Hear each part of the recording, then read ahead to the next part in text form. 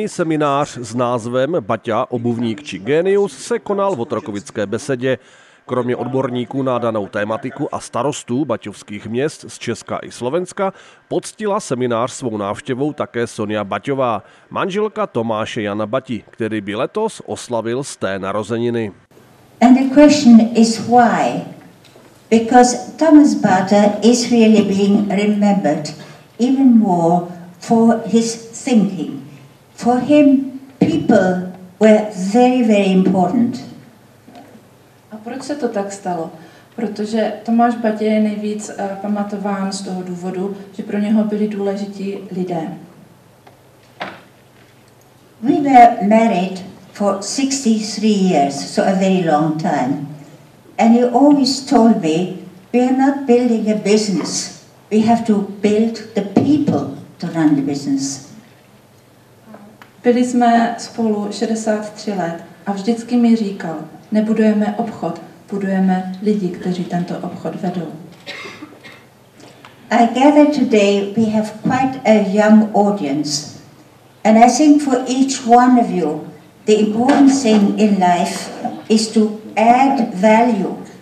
Add value not just for your own life, but for the people around you, your community, your country.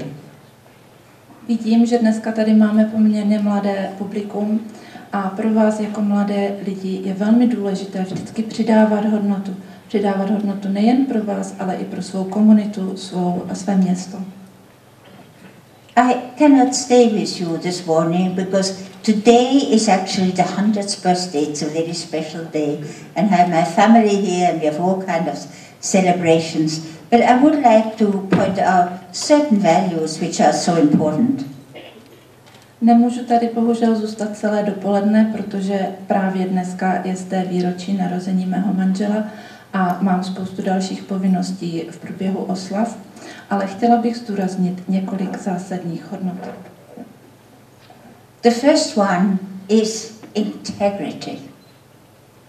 You know how much corruption is going on. It's up to you. Don't blame other people for it. It's up to you to be transparent. Really to try to be very, very honest in all your dealings you are doing. První z nich je integrita. Víte, kolik je dnes všude korupce. Je to na vás. Neobvinujte nikoho jiného. Vy musíte být čestní a féroví ve veškerém svém jednání. The next one is work ethics. Don't work just from nine to five. Work with your heart, work with your brain. Believe in what you are doing. If you're really believing that you're doing something worthwhile, you're going to be much better and much more brilliant. So you have to be passionate about your work. So try to find something where you can really feel very excited about it. Then you will do a good job.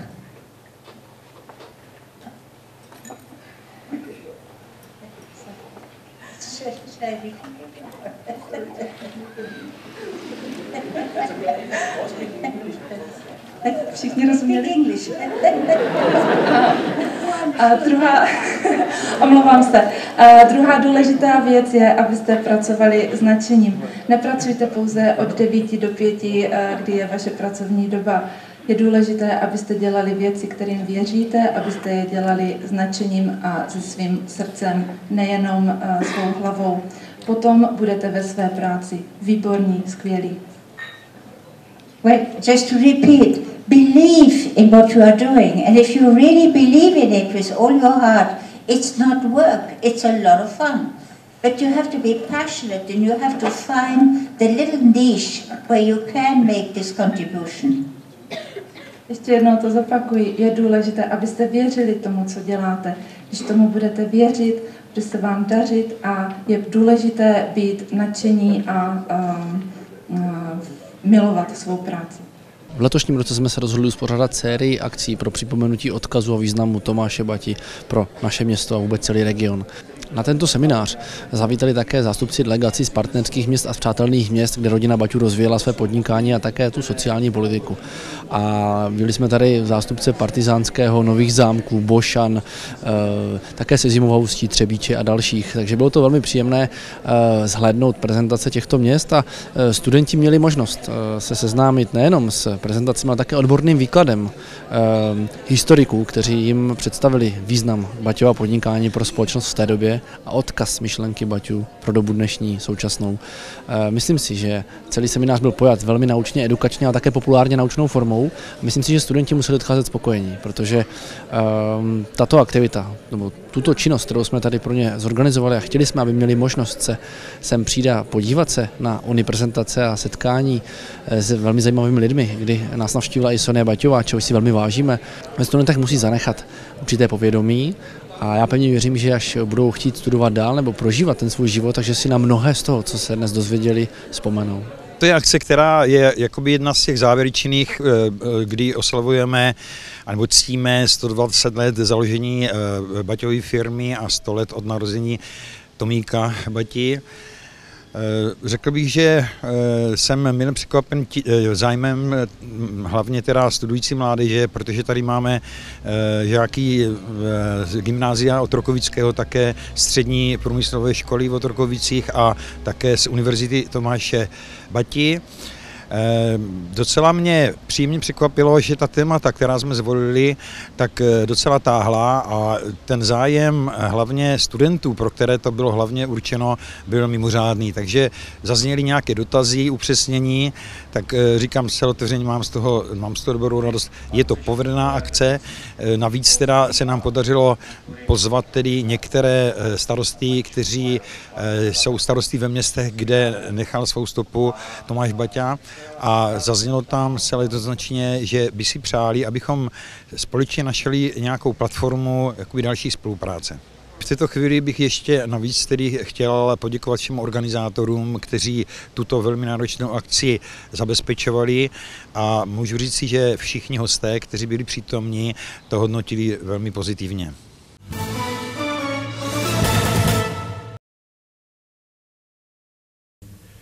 Mesto vzniklo v roku 1934, to je už dva roky po smrti Tomáša Baťu, zakladateľa firmy. E, v tej dobe po vzniku prvého Československa e, náš štát to nemal jednoduché, pretože na jednej strane boli vyspelé Čechy, na druhej strane bolo zaostalé Slovensko, najmä polohospodárske. A tak predstavitelia z tej slovenskej časti vo vláde v Prahe apelovali na vyspelých týchto kapitalistov českých, aby investovali na Slovensku, aby využili ten potenciál, ktorý tu máme. No a tak aj firma Baťa vlastne sa obratila na Slovensko a spomínaný zakladateľ firmy Tomáš Baťa kúpil e, garbiarne, kože lužne, ano, v, v Bošanoch a v Nových zámkoch No a potom neskôr už Jan Baťa eh, hľadal priestor, kde by postavil chemický kombinát na Slovensku. Eh, z viacerých možností sa im pozdávali najviac tu na priestory pod Vysokými Tatrami, kde boli rovné plochy, kde bolo dostatok vody kvalitnej. Samozrejme, bolo tu veľké množstvo pracovnej sily nevyužitej. A ďalšia taká vec, išla tady to trať Praha Košice, jednak železničná a jednak automobilová, takže už bola otázka času, kde to miesto vyberú. Pre nás ako potatrancov je zaujímavé to, že vybrali si také krásne priestory pri obci Važec. Ale tam samozrejme títo majiteľia pozemkov sa nedohodli s predstaviteľmi firmy Baťa, pretože mali obavy, kde budú pásť dobytok. No a tak sa stalo, že zastupcovia firmy Baťa prišli tu, do tejto oblasti, kde vlastnili pozemky gazdovia a občania z obce Veľká. Je neuveriteľné, ale behom troch týždňov sa začala výstavba. To svedčí o tom, že proste firma Baťa mala ozaj skutočne vynikajúcich manažerov a odborníkov a pre nás tu na Potatrancov to prinieslo obrovské pracovné príležitosti, pretože fabrika vznikala veľký, veľkou rýchlosťou. E, fabrika sa zameriavala na, a zamerala sa na výrobu celofánu na jednej strane a na druhej strane na výrobu výskozového vlákna. Čiže vyrábali sa tu obalové folie, to je celofán, ten známy, a z výskozového vlákna vrchné ošatenie ponožky a tak ďalej. E, toto všetko sa robilo na báze viskózy, k tomu bola potrebná celulóza a tu dodávali z ružomerku a zo žiliny, takže Baťa to mal všetko veľmi premyslené.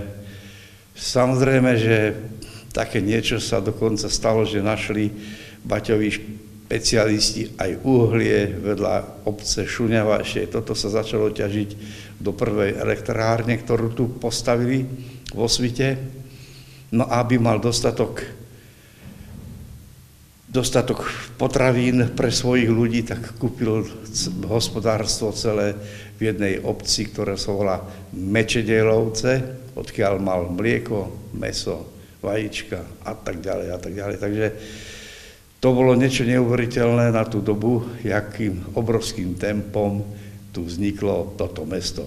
Takže tá stopa v našom meste je obrovská. My, my sa ako tešíme z toho, že práve Baťa bol náš zakladateľ a má tu na sochu postavenú jak zakladateľ firmy Tomáš Baťa, myslím ten starší, ako, tak má aj bustu, aj celé námestie je pomenované po Janovi, Antoninovi, Liptovský Mikuláš ako mesto e, má tú tradíciu, nejakú tú históriu nejakých 750 rokov reálne e, od prvého e, zápisu historického, ale ten vývoj bol teda rôzny. Mesto sa profilovalo postupne ako také obchodno-administratívne centrum, v ktorom sa koncentroval aj už v 18. storočí začali v prvé koželužnícke, respektíve garbiarské e, malé prevádzky sa tu formovať a v 19. storočí bol pomerne veľký rozkvet tohoto e, kožiarského remesla u nás, koželužníckého. Takže nie je sa čo čudovať, že Tomáš Baťa e, jeho firma sa zaujímala aj o Liptovský Mikuláš, o možnosti spolupráce, keďže tu bola v pracovná sila a bolo tu to know-how, ktoré e, vedelo kože spracovávať. Takže počas e, toho medzivojnového obdobia e, bola spolupráca s, s firmou Baťa pomerne veľmi, veľmi plodnou a ten, tie, tie kontakty mikulášskí kožiari, ktorí boli vtedy slovenskou špičkou koželužníctva, jednoznačne rozvíjali. Taká tá stopa dodnes tu zostala v tom, že e, máme tu jednu uličku, ktoré hovoríme Batevá ulička, na konci jej bola predajňa, e, ten dom predpokladám, že patril nejako v firme alebo nejakým spoločnosťam od Tomáša Baťu, dnes je tam už, e, sú tam iní vlastníci. Takže v tom povedomí dodnes to zostáva tá ulička Batevou uličkou, aj keď predajňa obuvy tam už, už dávno, dávno, dávno teda nesídli. Tá tradícia kožiarstva tu zostala dodnes, ehm, samozrejme, že eh, už je to dnes eh, tá výroba oveľa eh, technicky dokonalejšia, nachádza sa na úplne inej úrovni, ale spolupráca si myslím, že v rámci dnes, v rámci sveta a Európy je, je stále otvorená. To by som sa museli zapýtať priamo do spoločnosti Slovtan, že či aj spoločnosť e, Baťa odoberá nejaké, nejakú kožu od nich, ale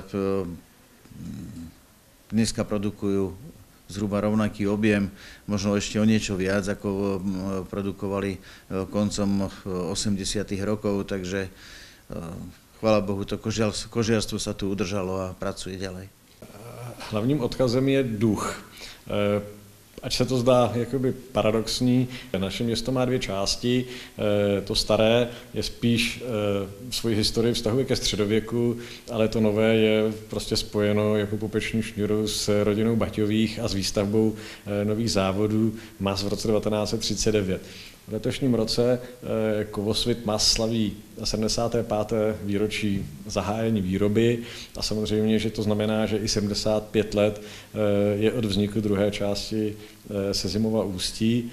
Když jsem mluvil o tom duchu, tak ostatní jaksi obyvatelé sousedních měst a obcí občas trochu s despektem hovoří o v uvozovkách ševcích, jako o lidech eh, eh, spořivých, schránčlivých a tak dále, ale já říkám na druhé straně, ale mimořádně pracovitých, technicky zdatných a schopných eh, naplánovat prostě si svůj život, naplánovat práce okolo sebe a skloubení obého vlastně vytváří takový specifický duch toho Sezimova ústí.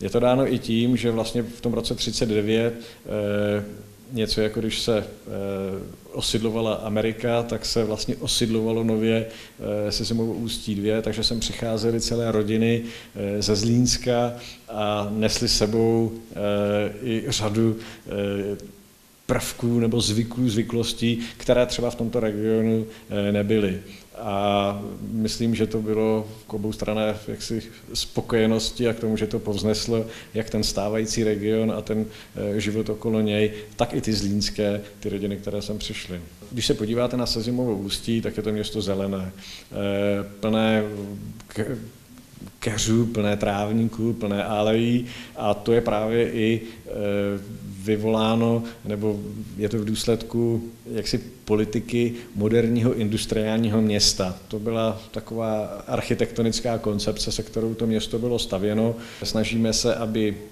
ta lokalita třeba toho Baťova, ať jsou to lokality zvané kolonie, nebo Amerika, nebo Německo, eh, tak aby eh, prostě ten svůj duch a ten svůj specifický eh, architektonický ráz, aby jim byl zachován, ale samozřejmě i s tím, aby to vyhovovalo potřebám dnešní. Pan Baťa vlastně koupil tady pozemky od rodů Šepků, kteří vlastnili vlastně tady celý zámek s areálem a přišel do Zruče na konci 30.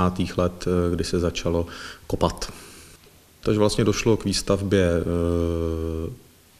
závodu. E, pan Baťa zde postavil e, domky pro dělníky, velkou budovu hotelu a školu.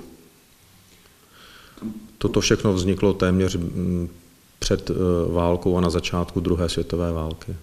Bohužel jako asi na většině míst továrna zkrachovala v 92. polovině 90. let a byla rozdělena na jednotlivé části, které se podařilo prodat.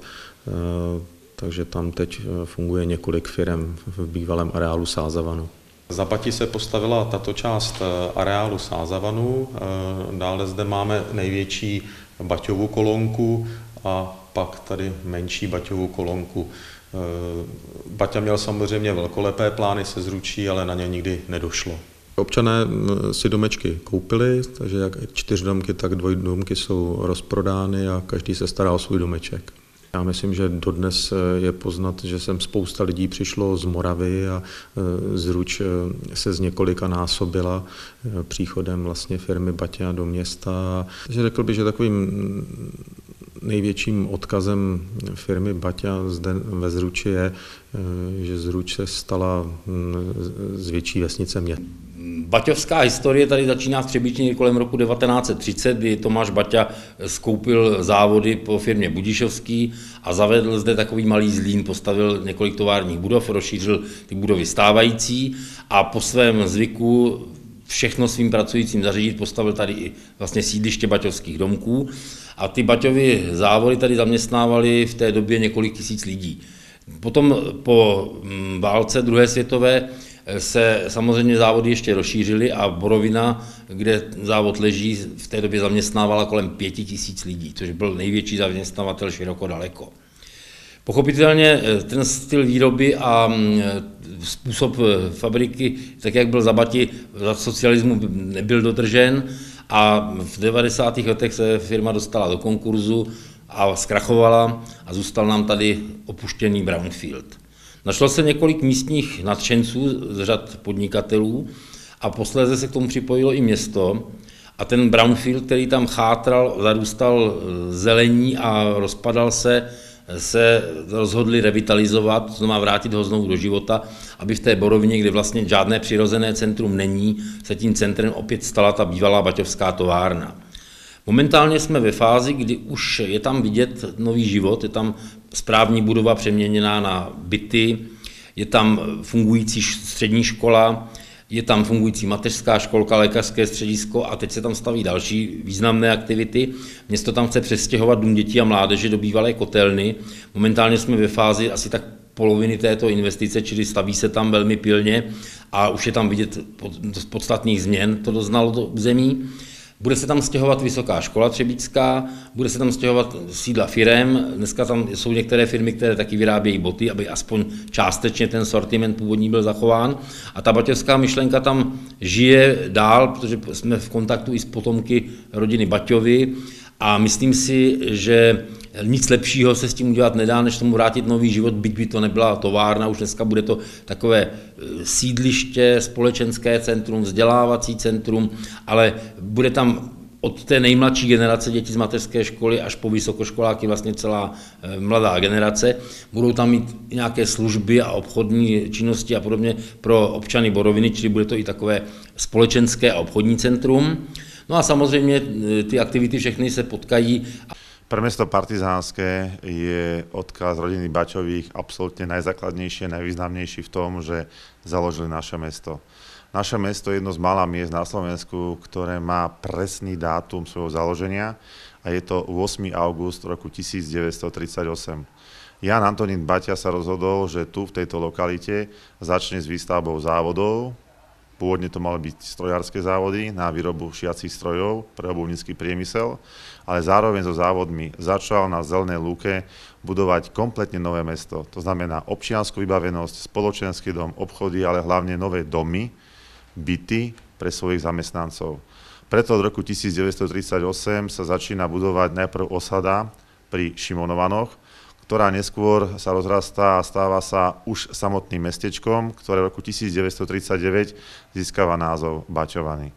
Odkaz rodiny Jana Antonína Baťu, už eh, tam by bolo potrebné použiť veľa adjektív, veľa pridaných mien a veľa uh, tých pozitív, ktoré tu zanechali, ale asi tie najväčšie spočívajú v pracovitosti, v tvorivosti, v kreativite, obrovskom entuziasme, ale aj vo veľkej miere solidarity, spolupatričnosti, lebo batizmus, respektíve celý odkaz firmy Baťa nespočíva len v tom, že ak človek veľmi chce a je odhodlaný a je odvážny a začne podnikať, sa mu začne dariť, ale spočíva aj v tom, že vytvára priestor pre spolu zodpovednosť a pre uh, veľkú mieru zaangažovania aj tých, ktorí tvoria hodnoty priamo ako zamestnanci danej firmy.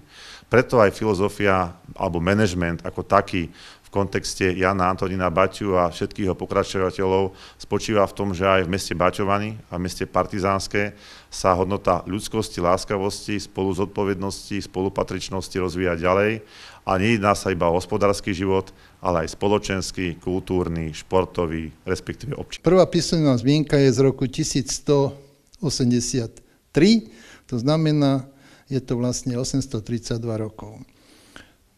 Ako som povedal, prešli rôznym vývojom a jedným z významných období bolo i to, že v roku 1857 rakúsky podnikateľ Adolf Schmidt založil garbiareň v Bošanoch.